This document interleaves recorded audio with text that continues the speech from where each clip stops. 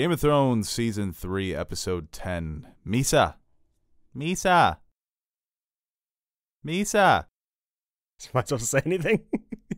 No, you're supposed to just smile and look around I while I hold you're, up. you're trying to do. Just doing the Mhysa thing. Yeah, no, and I get You know, that. at the end. I was thinking of trying to do like a Jar Jar Binks thing, but nothing came to my head, so I just, I just kept quiet. Wow, you should have done that. That would have been the perfect opportunity. I know. you want to start that again? Nah, it's already passed. Okay. Just start the episode.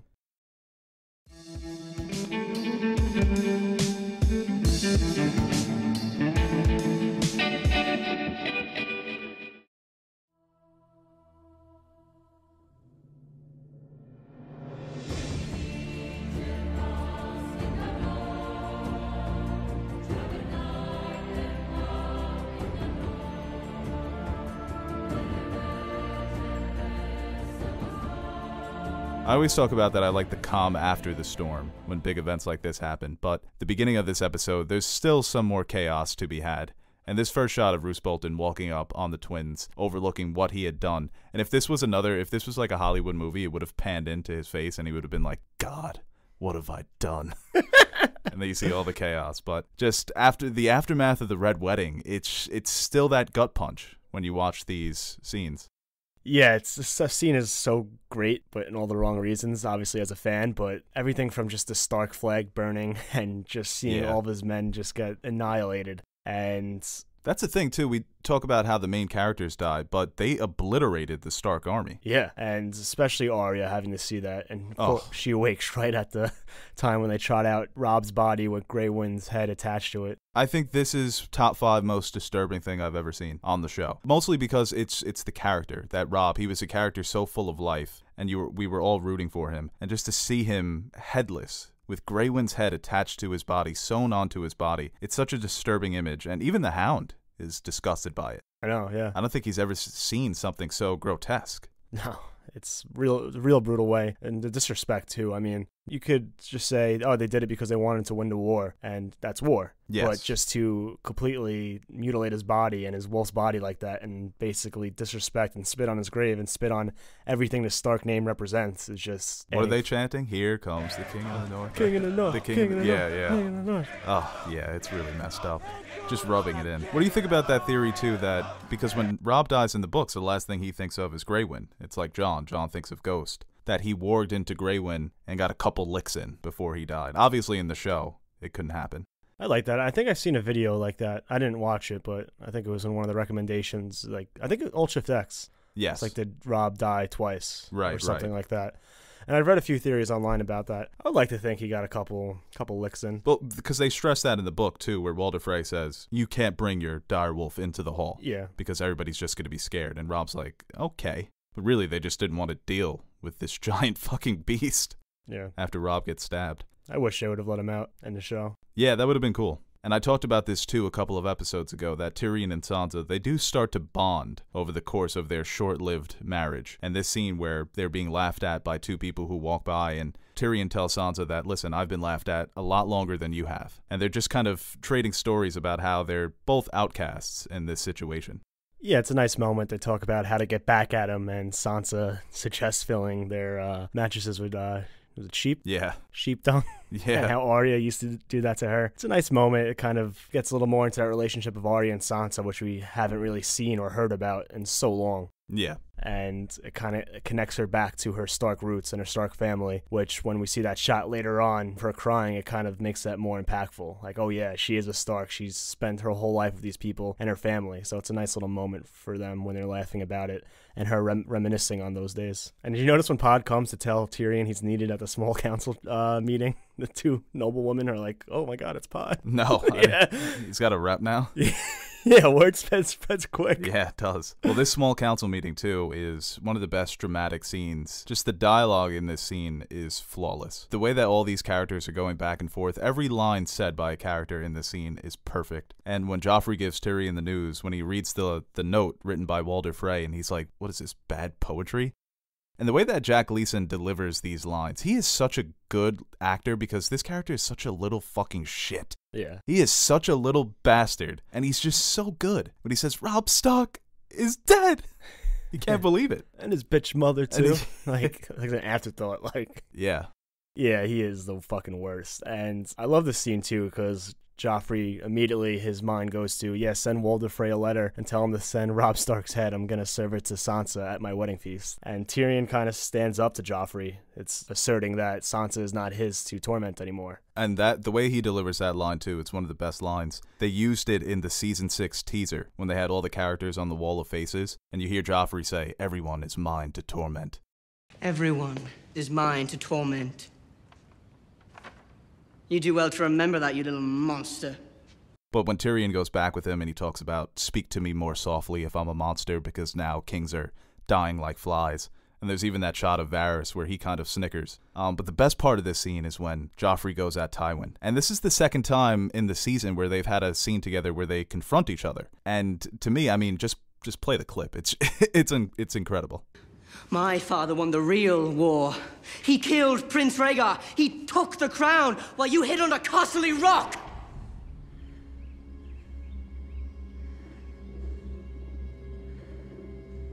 Yeah, everyone knows Joffrey fucked up. Even Joffrey, he's kind of like, ooh, did I say that? but he makes a he makes a fair point too because Tywin that was his strategy during Robert's rebellion. I'm going to wait and see who's going to win, and then I'll side with them. Hmm. And once again, it shows the love that Joffrey did have for Robert. He truly did worship Robert Baratheon. And we go back to the theories was he the one who sent the assassin to kill Bran to somehow impress his dad I don't in think some he, type of fucked up way? I don't think he loved him. I think he, he admired him. It's trying to find that emptiness inside him by trying to look up to someone and trying to receive love back. But Well, I think he likes to fashion himself the new Robert, but he's obviously a coward. yeah, I think even Margaery mentions it to him that you defended the city so valiantly. It's so funny that Tywin just sends him to bed. Uh, I'm not tired. that back and forth again, where we talk about who holds the power in Westeros. When Tyrion says, You just sent the most powerful man in Westeros to bed without his supper. Tywin says, You really think he's the most powerful man in Westeros? Tywin's like the Warren Buffett. You know, he's pulling the strings on the politicians. You're a fool if you believe he's the most powerful man in Westeros. A treasonous statement. Joffrey is king. You really think a crown gives you power? No. Yeah. These scenes between Tywin and Tyrion are so great too. Every time we get a scene, it's just so impactful, and you just have so much sympathy for Tyrion, and you wonder why he just continues to do this. It's obvious no one in his family loves him besides Jaime, and especially after Sansa receives the news, he really has nothing besides Shae and Jaime. Yeah, and the philosophical discussion that they have about what's more honorable to kill men in battle or a couple men at dinner. But to me, it's it's once again one of the best lines of the series when Tyrion says, "The North will remember this," and Tywin says, "Good." The Northerners will never forget. Good. Let them remember what happens when they march on the south. He's just such a Machiavellian mastermind. He's willing to do anything to protect his legacy. And to me, that's always so fascinating because he always talks about how soon I'm going to be dead, you're going to be dead, your kids are going to be dead. It's the legacy that lives on. He's trying to immortalize his family by winning this war, and he knows it's the most important thing. And in a way, I can kind of understand why he's willing to do these things. Well, Tyrion calls him out as his actions being selfish. That it's Right, not really right. helping the greater family; it's just helping you. And I don't know if I necessarily agree with that. Tywin has a different reason for disagreeing because Yeah, he let yeah. Tyrion live instead Right. of throwing him into the ocean. I think it's not necessarily that Tywin's selfish because he's not getting much out of it. I mean, Tywin's life has been work, work, work, running the kingdom, being the hand, saving his family by crushing uh, House Reyne. So, what is he really getting out of this besides preserving the Lannister name? Yeah, true. I mean, he just has a different way of going about it. He's not going to be warm and fuzzy with his children. He's Yes. all business all the time, and he has. It's kind of that. It kind of mirrors what's going on with Davos and Stannis, where they have the argument: what's one bastard boy to a whole kingdom? What's twelve people at dinner compared to thousands of men? Yeah, Tywin won't hesitate to make that move. Yeah, that's what I always love about the show is that they present us these dilemmas and they don't really take a side. They let you decide for yourself. But you talked about it before that scene when Tyrion goes to visit Sansa and all he says is he just says her name and she looks back and she is just a mess. Yeah, It's one of those scenes once again where you could just feel that sadness. It re- it's really radiating off of her in this moment and Tyrion just walks away. Yeah, it's not like she's hysterical. Like Right. she's been through so much. The only thing she can do even though she's visibly distraught and crying, but it's more of just the calmness when she's looking outside the window, kind of just reminiscing and just realizing wh- where she is now and wh- who she's surrounded by. It's funny too. It's it's similar to the look that Catelyn had. It's the final look where Catelyn's overlooking Robb's dead body and she slits the Frey girl's throat. It's just that emptiness that I'm dead on the inside now. That I have nothing left. Mm-hmm. Because to Sansa, like Catelyn, all of her family's gone.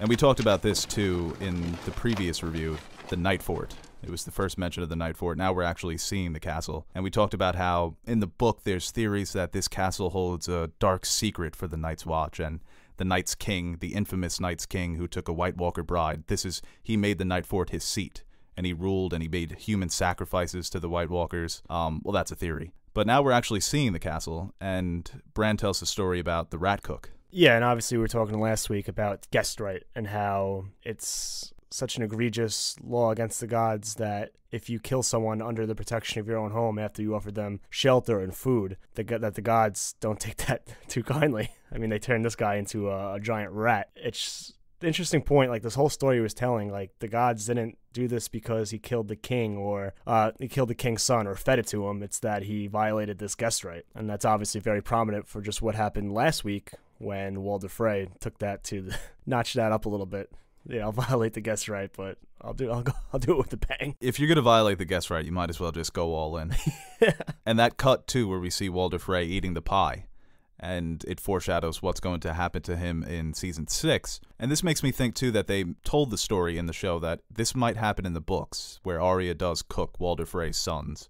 No, more Manderley. Right, right, right. Yeah, that's true. But it is it is a nice piece of foreshadowing here. This is what I call the calm after the storm. This conversation between Walder Frey and Roose Bolton. And we didn't really hit on it a lot last episode, but just the evilness and the wickedness in these two men to be willing to do something like this. It's one thing for Tywin to plan it, but it's another thing to be there and execute it to actually stab somebody in the heart, to betray your king. And Walder Frey, I mean, they do a great job of making the phrase this kind of kind of disgusting looking family where you feel dirty when they're on screen. Like the McPoyles of Westeros. Yeah, they really are. Um, they're the black sheep, and it's funny too how the way they position them in the middle of the kingdom, where they're not really Northerners, but they're not really part of the Riverlands either. They're just kind of outsiders. Yeah, I mean, but if you're going to get two people to pull this off, you want to take someone who really has no regard to anyone besides themselves in Roose, or someone who's been slighted numerous times by the people they are trying to destroy in Walder Frey. And he goes, he lists all the times he's been slighted, how they call him late Wall Walder Frey, and how he's always been looked upon as not important or not to the level of a Tully or a Stark. And after, what is it, like 80 something years of that, there's a breaking point, I guess. And. Tywin, I guess, is able to pick that out and realize that and use it to his advantage. Tywin and Tyrion discussed that as well, that Walder Frey would not have done this on his own unless he had certain assurances. And we learn that Roose Bolton is going to be the Warden of the North, and they're just kind of discussing their spoils of war. They mention that the Blackfish has escaped, but Walder Frey isn't really concerned about that. He has Tywin Lannister backing him. But Roose Bolton talks about how he's going to rebuild Winterfell and possibly move in. And another great transition where Walder Frey questions him what happened at Winterfell when Theon Greyjoy took it over? And he says that he sent his bastard Ramsay to clean up the mess and Well, this is a story all about how my bastard turned Winterfell upside down.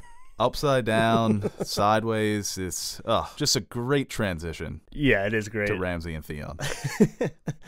the Ironborn turned on Theon, as we knew they would. They handed him over, trussed and hooded. But Ramsay, well,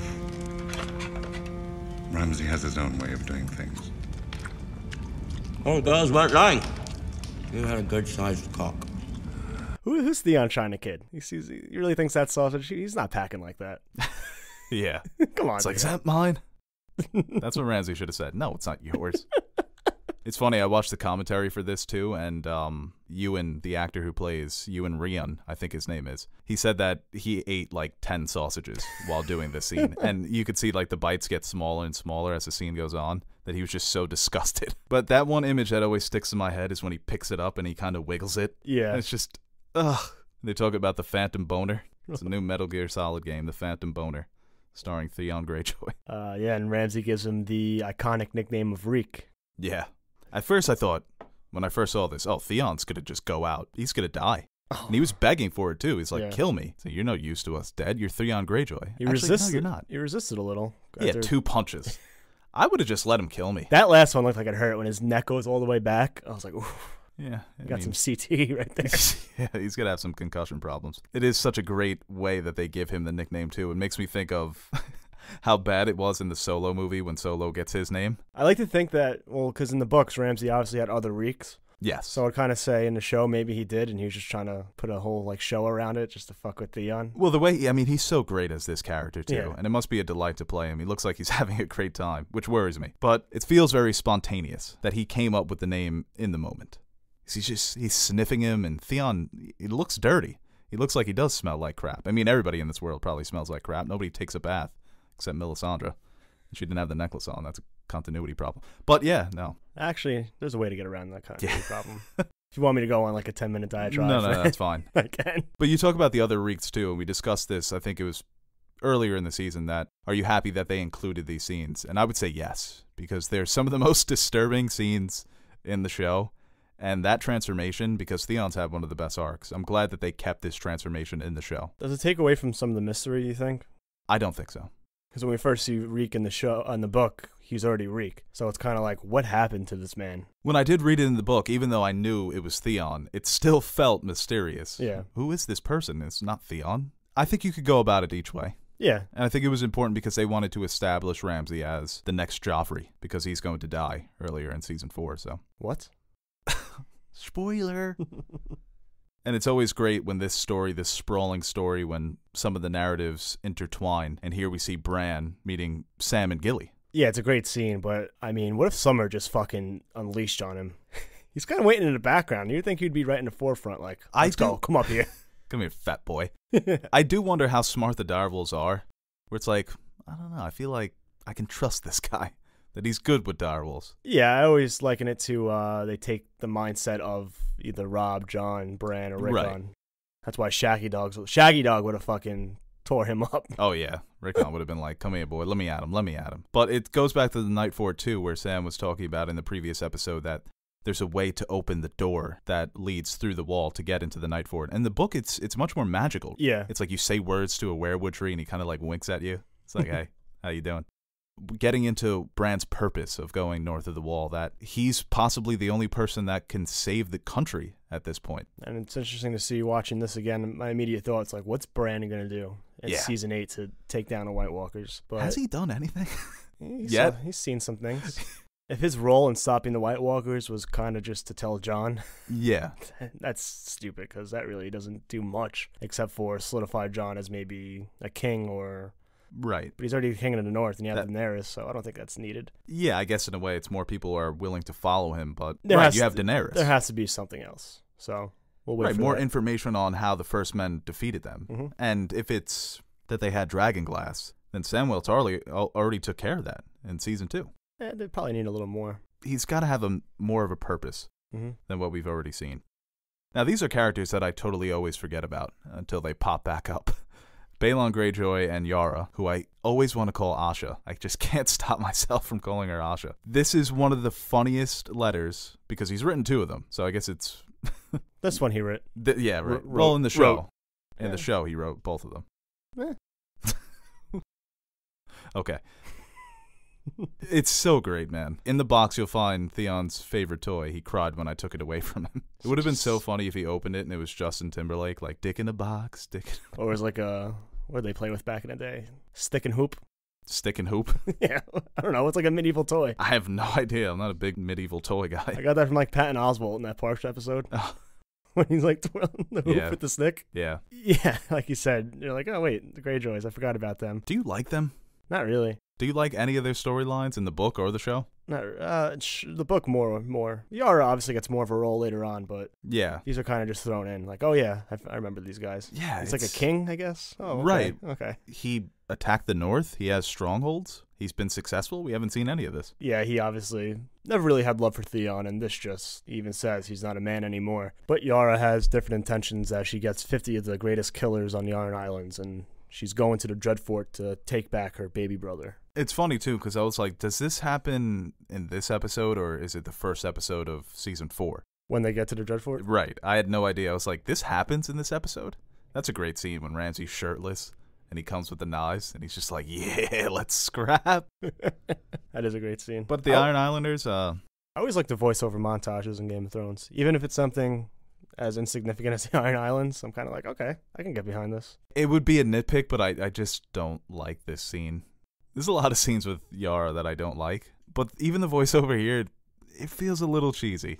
Eh. Like, was she giving this she- speech to Balon? Well, no, does she deserve voiceover status? But I just imagine Balon just like watching her and then like slapping her at the end of the speech. Like, get, get the fuck out of here. Do what you want. I don't care. Yeah. And finally, we see Bran, Jojen, Meera, and Hodor going north of the wall. And this is great too when Samuel gives him gives them the dragon glass. You could tell that Bran, it's destiny. It's something that he has to do, but he doesn't necessarily want to do. We were talking about how the dragon glass is so important. He sacrifices a dagger to Hodor, a uh, couple of arrows to Meera. The Acha. What, what do you think? I know, like the last scene, they were talking about how they were trying to convince Sam that they need to take him beyond the wall. But come on, Sam, how gullible are you? Just a bunch of kids. Your best friend's fucking crippled brother just wants to go where you just saw a White Walk. I think Jojen kind of freaked him out. Yeah, he probably. Like, how does he know that I saw all these things? What other choice does Sam will have? I mean, if they say no, then Oh, another thing. Didn't they like deduce that the wall was going to be under attack or Castle Black? yes, No, like, hey Sam, by the way, so some wild like, yeah, it could have happened off screen. yeah, yeah. but I just thought it was interesting. screen. Like, hey, maybe because I feel like they don't know until Jon tells them, Yes, or maybe Sam does say something. I them know. going north of the wall too. There's always a great sense of wonder with this arc, and it's it's one that I really enjoyed for the first four seasons. It's one that I think I enjoyed even in season six. I think season seven we had some mixed feelings about the way that they presented Bran, but there is always that great sense of wonder and fantasy exploration and journey and destiny involved with Bran's journey. But this is a great scene too between characters Davos and Gendry, kind of re- reminiscing on their past, their similar upbringings. Because at first Gendry thinks that Davos is highborn, and he says, "Boy, do I have a fucking story to tell you." No, yeah, it is nice because we see how skeptical Gendry is of Highborn and how every time he trusts one of them, it gets gets betrayed. Lord Beric betrayed him, uh, Melisandre, Stannis, and now Davos comes down. So it's nice for them to connect over that King's Landing and their upbringing. It kind of builds that relationship where even though Stannis probably doesn't know him that well, he knows where he's been and how what kind of person he is, which makes even more of a reason for him to save him later on. Because I think Davos is a, a good guy, so he would have tried to do it anyway. But I think that relationship and just that one scene was able to solidify Davos's actions. Yeah, and he definitely sees himself in Gendry. He sees his son, and he talks about how he never necessarily wanted to become a highborn lord or to become a lord, but that he did it for his son, so that his son wouldn't wake up to a, a river of shit outside of his front door every morning. And then Gendry says, Does he have a better life? And when Davos delivers that final line, he's dead. How'd he die? Following me.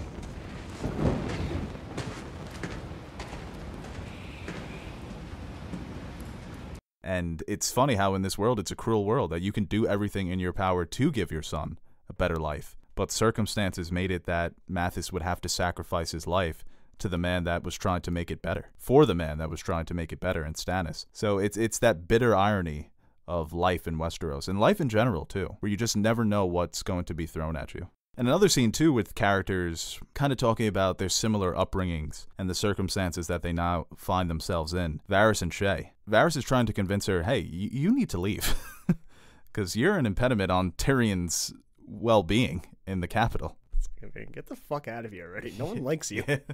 yeah, he tries her to give her diamonds, which is enough to get a big house, servants, and all this a life that she would otherwise never have dreamed of having before she met Tyrion. That's why I say this is true love. That she does love him. If it was about the money, then she would have taken the diamonds. Yeah, but he's probably like, I can get I can get the bag every other week if I'm with Tyrion. But yeah, he believes her to be a complication for Tyrion. He truly believes that Tyrion is the only one that can do some good in Westeros, and her presence in the capital can inhibit that from happening. Yeah, we can already see it too when Tyrion and Sansa are walking and he looks back at Shae. It's this can't go on anymore. And Shae has the line where she says, If he wants me to leave, then he can tell me himself. And it's similar to what Tyrion makes Daenerys do in season six with Daario, saying that this guy is going to be a liability in the Seven Kingdoms. You're gonna need to make matches, possibly get married again. You can't have a lover boy running around and at this point Shae is the lover girl. But it's, once again, it's it's the end of their relationship is coming. But at least Daario can get a hint. It's like, yeah, I can see that. I'm not happy about it, but I'll, I'll make do. And Varys does say to Shae, "This will never be your home," and he's right. she dies. Oh, poor Podrick in this episode. He's getting pushed around, doing everybody's dirty work. I love that. She just walks in and leave. Tyrion's trying to get him wasted. You think Cersei heard up. the news about Pod? It's like, eh. leave, but stay outside. Yeah. I got to speak to you about some Are we things. related? God damn it. She goes back. She gets the books that Ed got, Ned got from yeah from Grand Maester Pycelle, and goes back and Pod's history. It's, it's like, the yeah. same clues. Meets him in the garden. Great line by Tyrion too. That being drunk all the time isn't easy. If it was, then everybody would do it. Another surprising scene. I always forget about this scene too between Tyrion and Cersei. It's very. It's not very hostile. No, it's. A, I think these are always the best scenes where they're yeah. kind of just hanging out, just talking. Where you can feel like, oh, they they're brother and sister. Maybe mm-hmm. they do love each other. I like to pretend that all the stuff between them never happened in this scene. That they're buddies. Yeah. they have great chemistry with each other too. And Cersei's advice to Tyrion is to give Sansa a child, something that she can love. And she says that's the only thing that she loves in her life is her children. She said it's the only thing that kept her from killing herself throw yeah throwing herself out the highest window in the Re- of the Red Keep, which is very ironic since your son, the only thing he did love, keeping you from jumping out the highest window of the Red Keep, jumped out the highest. Yeah, window yeah. Look at that. Ah, I didn't even think about that. Yeah. yeah. How fucked up is it too, where you're in a position where the only thing that can keep you happy is having a child from somebody that you hate? That's the only thing that you have to live for. And that child being fucking Joffrey. Yeah, and then that child comes out and it's Joffrey. And it's interesting too. She talks about how all the bad kids were always bad babies, but that Joffrey was a great baby. That he was always smiling. He never cried. He was so happy when they were together. You could tell that maybe if Joffrey had grown up to be more like Tommen or more kind-hearted, a bit smarter, then maybe Cersei would have transformed in her later years as well. That she would have became a more compassionate character if she had a more compassionate son to raise. That kind of just furthers the way that she is already going with Robert, where she's just going to become this bitter, spiteful human being. I attribute the way Cersei is more to Tywin than Robert, because I think in the way Ty- Tywin viewed Jaime as opposed to her, I kind of always gave her that edge that she needs to go. She needs to go over the top to sh- prove that she. I blame it on Robert. It's uh, probably a mix of both. Because he did, she did love him. I think if Robert was a good husband, then I think she would have been a solid wife. Yeah, it's kind of. And then when he climbed on her at their wedding night, stinky of wine. She loved Rhaegar. She wasn't a big Robert. Yeah, she liked Robert. She had all the Rhaegar posters in her room. Had all of his Dad, albums. I want to marry Rhaegar. He's dead. Got all of his merch. Got his merch. His yeah. uh, his harp. Rhaegar being a vlogger. What's up, YouTubers? I'm here with my harp solo that I wrote for you, Cersei Lannister. Psych, Lyanna. Love Psych, you, babe. Lyanna. Aren't you married? Chill, chill, chill. Well, whatever it was that made her this way, I'm glad it happened because she is great. And they go into this more with Tyrion in season five when they're at the fighting pits, where Tyrion talks about how he never enjoyed violence. He doesn't enjoy it when it's for war or for entertainment. And he has this line here with Cersei when he asks her, When does it end? When does the fighting stop? When do the wars stop? And Cersei has a line that every time we, no, Tyrion says that, that every time we make kill an enemy, then two more take their place. And Cersei's like, well, it looks like it's going to be going on for a mighty long time. it's cool to get that insight into Tyrion that he just doesn't enjoy this. He'd much rather just be sitting in a winery somewhere, getting drunk. And another great foreshadowing, too, of what Arya is going to become in later seasons when they come across the Frey camp. And they're all talking about, they're bragging. One of them says that he was the one who sewed Grey Wind's head onto Robb's body. And they're all kind of just celebrating their victory. And Arya just can't stand it. And it's, it's amazing to me that this little girl had the balls to get off the horse, take the hound's knife, and be willing to kill these grown men. When we first her first kill was out of necessity. This Right. is the first time we really see her kill out of vengeance or spite. It's or 'cause she- premeditated. She, wants to. Yeah. It's kind of like you said last time. We always forget that she's just a young girl. Everything that's gone through with her family and with her, and seeing that image of Robb and his wolf's head on top of his, it must she must just be going insane right now. She needs something to release her anger. When you come across p- people mocking, like we said before, how they're just disrespecting and mocking Robb Stark, her brother, and her family. It's just too much for her. Yeah, and it's it's a moment where you kind of start to see Arya differently. They definitely deserve to die. We keep saying it, she's just a little girl, so it's weird seeing her kill him in this way, where the way that she's kind of wailing and Do they though? keeps stabbing and stabbing and stabbing. Yeah, I think they do. I think it's they're an enemy of her family, and it is war. I mean, you can obviously get into it. Well, yeah, for them too. It's still war. Right, Like right. they didn't give the order. But what I was going to make the comparison They might be to they might be pieces of shit, but in the books in Braavos when she kills the deserter from the Night's Watch, the singer. To me, that made me see Arya differently in the book, where I said, "Wow, this is she's really taking the law into her own hands." I don't know if this guy deserved to die by Arya's hand. I don't know if that's her business, but that's why I think it's different in the show because after what you just saw, knowing that these men are part of the army that betrayed your family, part of that family, I think they do deserve it, and I don't see Arya that much differently. It obviously is shocking to see a little girl do this. I guess in a medieval society, it's not that egregious. Right. Like well, the Hound too. He's like, next time you do this, Yeah, tell me. I love his reaction. They're they're such a great pair too, man. When they fight together, it's always so cool. Well, the only reason why she had the balls to do that because she knew when the other three ran up, the, the hound, safety blanket, the yeah. hound was going to be there, ready So, to yeah, scrap. Got LeBron on my team, He just sits down, eats their rabbit, whatever they were cooking. and uh, the way that he takes the knife from her too, he's give me that, you little rascal. From you. Is that the first man you've killed? The first man. Next time you're going to do something like that, tell me first. Um, and she looks at the coin, and you hear the the ominous music of the faithless men, and you just know that that's what she's thinking. That I need to find my way to Braavos. And but Maisie Williams too is just such an incredible young actress. The way that she pr- plays the innocent girl, where I'm hungry, I'm cold. I've just seen you stab a man 40 times. And in the last episode, we saw Jon escape from the wildlings, and here he's kind of watering his horse, watering himself. You know, he's haven't taken a bath in so long. Scars are going to get infected, those cuts. Yeah. Yeah. And what does he hear? He hears the bow and arrow. And Ygritte tracked him down. Yeah, and he just starts talking like he didn't have a choice and that she, he says that she always knew who he was. And you could just see how. yeah. Rose Leslie, not a word spoken in the scene, but it's every movement with the bow. It's every facial and, That- and grimace and mannerism. The best is when he says, when he says, I love you, you love me. And she goes, Yeah. she kind of cocks it a little more, but she's still like dying inside. Right. Everyone's dying inside. I know I love you.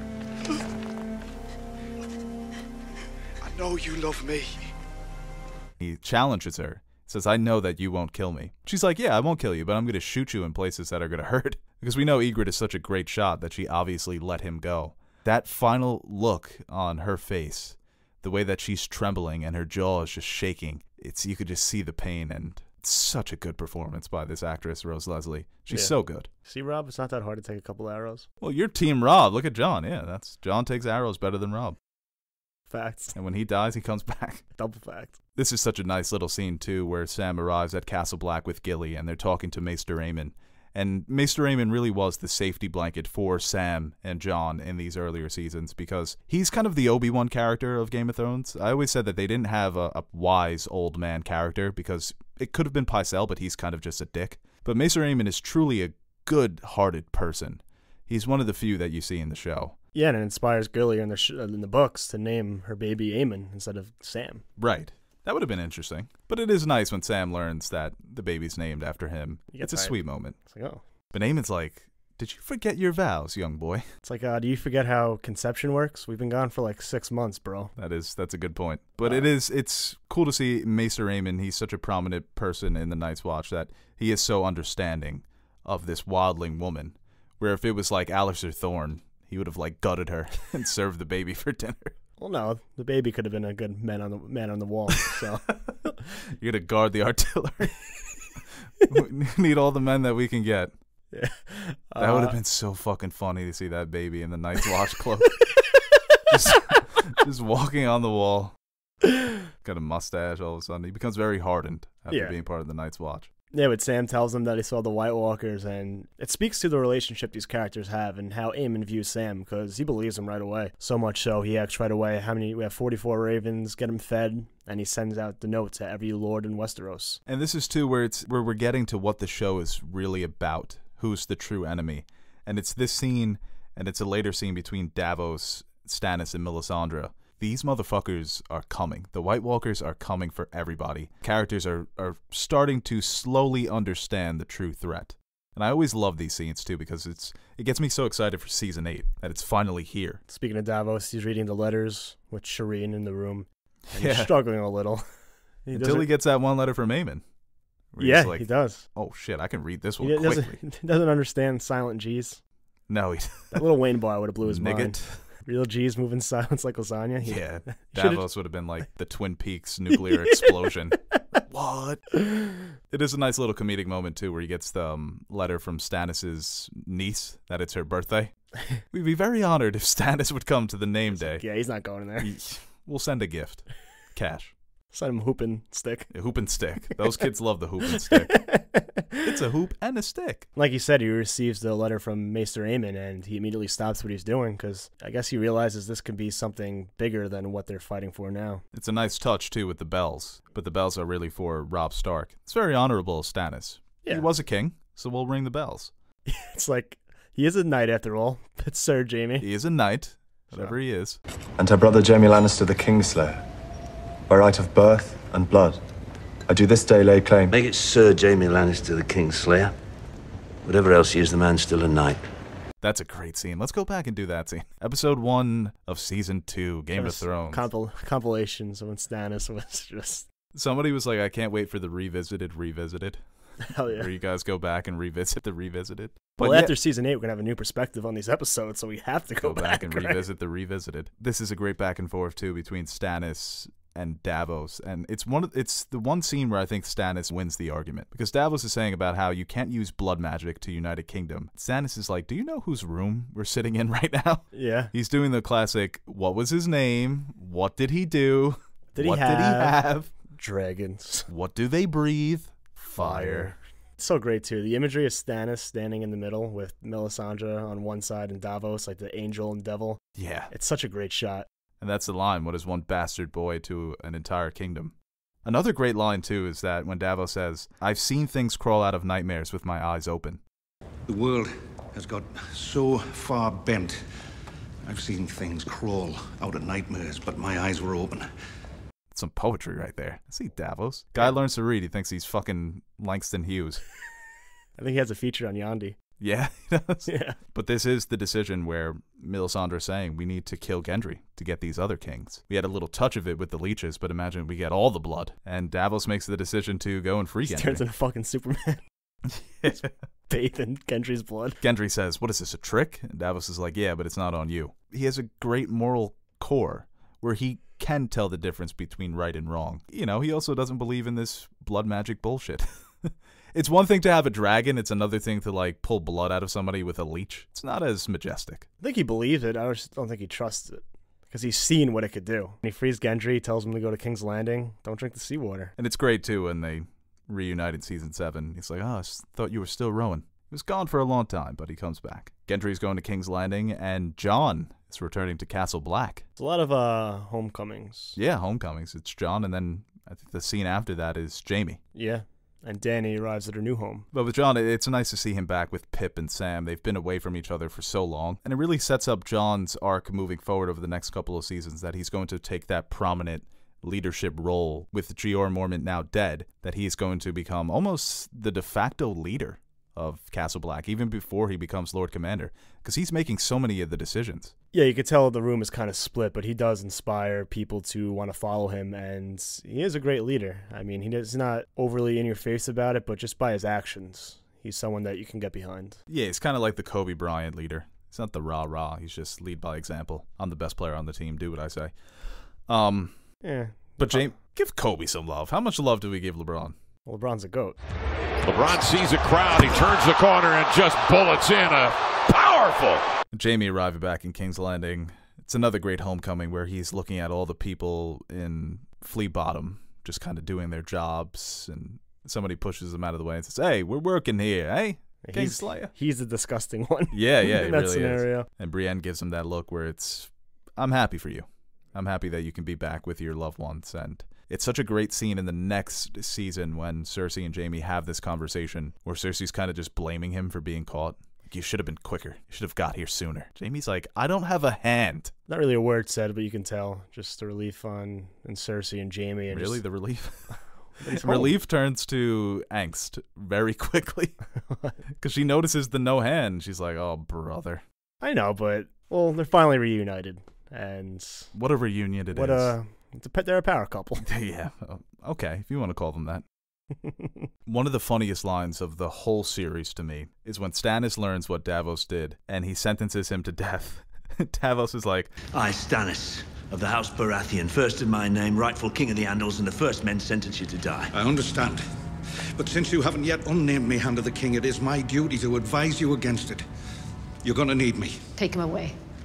I advise strongly against you killing me. Spot the lie. Just uh, before we get into what they're discussing in the scene, how great is the lighting? With Yeah, the sun coming into the room. I oh, that too. The battle between ice and fire. That is, at this point, Stannis feels that he is fire, that he is going to be Azor Ahai. And it just continues to speak to Stannis' desperation that he's willing to go to any length in order to win the Iron Throne. And like I said previously, Davos has been trying to tell him this is blood magic. This is not dragons and a legendary name like Targaryen. You're killing people that are related to you. You're not inspiring anybody to follow you with this red witch. This is a religion that's foreign to the people of Westeros. This isn't going to work. And when we see some of the decisions that Stannis makes later in the later seasons, we know that he's been truly lost. But this is his just gradual descent into this delusion. There has got to be another way. What other way? Tell us about this other way. I don't know, Your Grace. I can't see the future in the fire. Which is now resulting in him thinking that he's Azor Ahai reborn, this legendary hero. Yeah, and that's kind of uh, framed later when Davos is being dragged out by the guards. He pulls the letter out and it tells him what's happening uh, beyond the wall. And Melisandre sees in the flames that, yeah, this is the real fight. The real fight is North, and that he is that Azor Ahai character, and his place is there. Yes. And she says, the War of the Five Kings, it's pointless. This is the true war. And she's the one that says, hey, we need, we're going to need Davos. and Stannis again smiles at like very morbid. He laughs, yeah, He's like- yeah. Like you see, the red god you hate so much just saves your life. and that look that Melisandre gives to Davos, those eyes, she just never blinks. That line, too, that Stannis says, you're in his army now. They should have just went at it one time. Fight? No, Melisandre and Davos just one. You think so? Just to get out all the bad Yeah, blood? get the tension out, and then I think things would have went a little more smoothly. If they would have had a nice hate fuck, I think this sh- Yeah. would have been a lot more successful for Stannis. like, you know what? That red god, not too bad. Not comes out smoking a cigarette, got his robe on. Listen, Stannis, I'm telling you, this R'hllor guy. But like I said previously, the way that they're setting up the true threat, I've always I always loved these scenes in the earlier seasons because it just made me think about how epic the war is going to be, the Great War. And the final scene of the season is when Daenerys has finally conquered Yunkai and she's waiting for the slaves to come out. It's another great final Daenerys scene. Yeah, the doors open and the uh, the former slaves come out to greet Daenerys. It seems a little standoffish at first. You know, Unsullied get their spears ready. You can see Daario in the back gripping his sword. Like they don't know what's gonna happen, but they embrace her, call her Mhysa mother for liberating them. And she and she even says before that uh, before they come out, like how are they gonna feel being conquered? And Jorah says, "You didn't conquer them. You freed them." Right, yeah. She doesn't know if she's a conqueror or a liberator Yeah. at this point. And the speech that Missandei gives to them, where she says that you can thank Daenerys for your freedom, and Daenerys kind of stops her. It says, Nobody can give you your freedom, you have to take it. But they can still appreciate what Daenerys did to it, did for them. Because you need somebody in that position of power. And there have been some, there's been some controversy surrounding this scene. It kind of makes her out to be a white savior. But my argument to that would be there's a lot of people in Westeros where they're all white that need a lot of liberation as well. So, I mean, she's in a place with these individuals who are going to be slaves are being ruled by people that look like them, kind of this feudal system where some people have been designated as slaves. So that's why I kind of push back on the white savior criticism. There's people of need of liberation in Westeros just as bad as these people. I think it's a little much though when they're like she's Carrying her off. she's crowd surfing. Yeah. I- I- and people have a- said that it's a bad visual. Yeah, just from a visual stand. No, just like that, and just oh, it's a little cheesy for Game of Thrones, like them crowd surfing and her spreading out. Like we get it, Daenerys here. We all love you, and you're a liberator, and we can't wait for you to go to Westeros. Well, I think the music, the combination of the music, Daenerys actually enjoying a moment where how many times do we really see her smile like this? Where I think it's it's probably the widest smile that Emilia Clarke has ever done on the show. Where you look at season seven, I don't think she barely enjoys anything anymore. So it's nice. It's we say that she's the MVP of this season. MVP of season three. I think I said, yeah. Looking back at the whole scope of the season, not to have a recency bias, I kind of want to say Tywin. Right, right. From where Daenerys was and her ability to get the Unsullied and just conquer two cities, I think it has to be Daenerys. Right. I think at this point she's on a right track, and I guess it's in later seasons that she's not enjoying it as much because the road gets a lot harder from here. Because Meereen is an absolute challenge. It's not as Yunkai was a couple of nights. It's we send in Jorah, Daario, and Grey Worm, and we got the city already. You know, last time we see the true Daario. So, but it caps off this final scene. I think I think it's just a great cap for this season. Where they always do such a great job of that final scene. And it's kind of similar to her sailing to Westeros. You got the dragons in the air, and it's great. It's a great season overall. Yeah, one of the best, if not the best. But season four is arguably just as good, if not better. So Well, they complement each other so well. Yeah. Because it's the one book. It's the Mhm. Storm of Swords book. And that's why I appreciate the show so much that they took the books and they split them up. Like Feast for Crows was a couple of se- Oh wait, no, no. well, they did it good this time. Okay, we'll give them that. Yeah, great season. Can't wait to revisit season four. And to everyone we've lost in season three,